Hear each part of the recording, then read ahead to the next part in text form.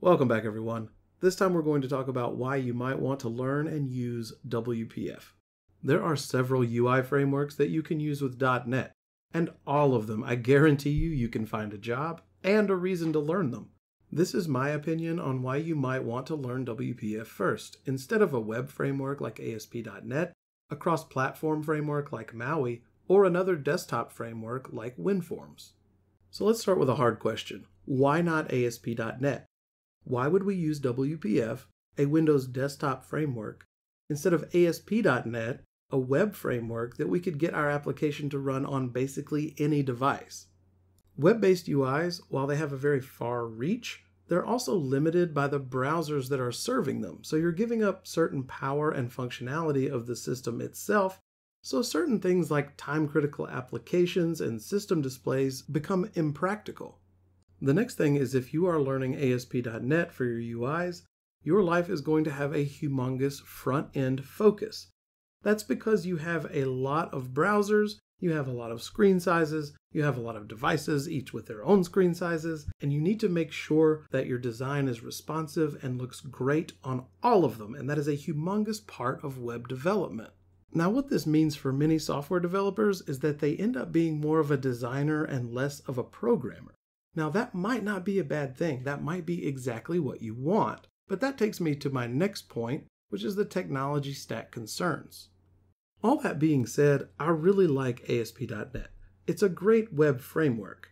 But I do a lot of .NET desktop development, mostly WPF, and I have a lot of .NET libraries that I can use across any framework that I want. So ASP.NET was a great choice for me. So if you are interested in the low-level, complex programming world, starting with ASP.NET is probably not for you because there are so many front-end obstacles to hop over. If you are interested in this front-end designer world, then ASP.NET might not be for you either because there are other technology stacks that are more sought after, like React or Angular. Okay, if you're still with me, now you may be asking, well, why not MAUI? MAUI is a cross platform .NET UI framework. WPF is only Windows. Well, firstly, there's the age of MAUI. MAUI is a very young technology, and there are not a lot of third party packages available for it. So you're going to be doing a lot of work to get the same power that you could get very quickly with WPF. Because MAUI is cross platform, you are going to have to deal with additional complexity because the platforms are not the same. You won't be able to use all packages for all operating systems. They may be built differently, and they may need to be tested differently.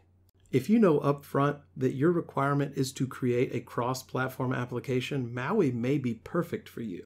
But if you don't, the vast majority of business PCs use Windows. So if you are starting with WPF, you are checking the most boxes for your career because MAUI also uses .NET and XAML, and WPF could be a stepping stone to learning that down the line.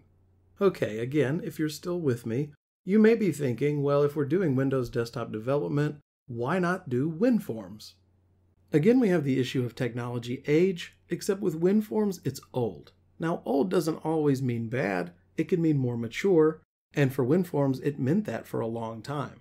But now that WPF is more mature, not a lot of new WinForms projects are being started, not a lot of support is being continued, and it's kind of phasing out.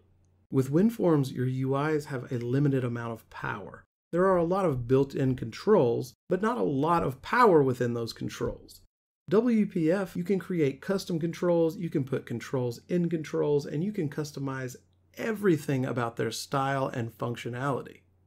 Lastly is the limited potential of WinForms. And don't get me wrong, there's a lot of potential left. There are plenty of jobs, a lot of software in WinForms still. However, if you get a job doing WinForms, you're probably going to be working on legacy code until there's no more work, and then you'll have to learn a new technology anyway. So you're kind of stagnating yourself from the beginning, not going with a newer technology. So now that we've talked through the major options, let's hit the high points of why you might use WPF. First of all, extremely low barrier to entry. It works right out of the box with Visual Studio. You create a new WPF project, hit run, and you're up and running. Next, it uses XAML, which is a very easy to understand markup language even if you've never seen it before. With WPF, you can create immediately powerful UIs, there are plenty of built in controls, and all of them are fully customizable. You can master .NET programming much more quickly with WPF because you reduce the overhead that comes with web and cross-platform applications. Also, WPF has a massive amount of third-party software that you can quickly integrate into your program, making it even more powerful faster. The skills you will learn using WPF will translate very well. .NET itself is everywhere and you can use it with all .NET frameworks. And also, like we mentioned before, XAML is the recommended markup in MAUI, so you already have a step up. Last but definitely not least is the excellent career potential of WPF. There are tons of WPF jobs. Once you learn WPF, WinForms will be a breeze. Learning WPF allows you to learn C Sharp and .NET much more quickly, and once you're familiar with .NET, ASP.NET is just a tutorial away. Hopefully this will help you make an informed decision on whether or not to learn WPF. Next up, we are going to get started with WPF. Thank you for watching everybody. I really appreciate you. Happy coding, and until next time, as always, take care.